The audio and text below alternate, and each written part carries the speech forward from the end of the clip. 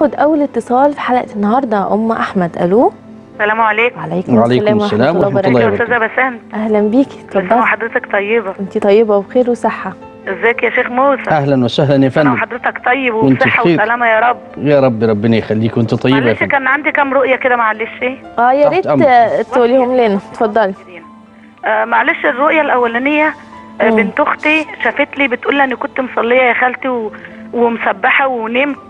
فلقيتك قدامي في المنام ومفيش قدامي لا ناس ولا ولا ولا بيوت ولا أي حاجة إلا أنت واقفة قدام قصر قصر كبير وأخضر وج... وجميل كده وأنت واقفة قدامه. مم. وأنا جنب القصر ببني في ثلاث طوبات وأنت قدام القصر واقفة وبتبصي لي وبتبتسم. دي أول رؤية. تمام. الرؤية الثانية هي من زمان قوي يعني كنت شفت أمي في المنام هي متوفية. آه ربنا يرحمها. هي ربنا يخليك يا أستاذ. مم. إن هي قالت لي أنا جاية ابشرك ثلاث بشرات. البشرة الأولانية ربنا رضى عليكي البشرة الثانية أنا رضيت عليكي البشرة الثالثه قول لسعيد يصلي سعيد ده زوجك ولا لا أخوكي سعيد ده جوز أختي بس ما كانش بيصلي يعني ولا له في. يعني له. في الدين قوي يعني.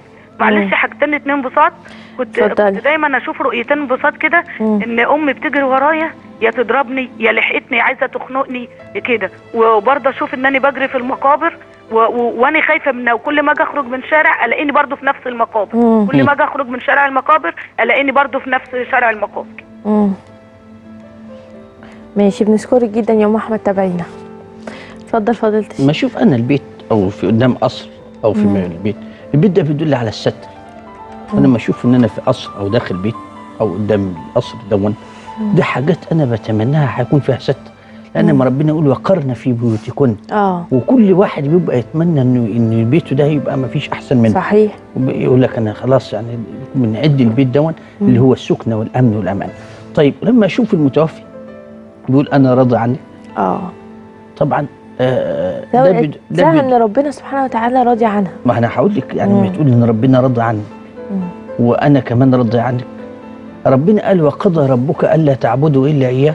وبالوالدين إحسانا. مم. يبقى هنا بعد طاعة ربنا بر الوالدين. صحيح. اللي إحنا في كتير من الناس إحنا بنفتقد ده. مم. لأن طاعة ال- الأب والأم كنز لا يفتح إلا صحيح. بعد موته. وبعدين أي حد والده عايش ووالدته عايشة إن ما كانش يغتنم الفرصة يغتنم دي الفرصة فعلا. إن ما كانش يغتنم الفرصة دي عمره ما يسعد.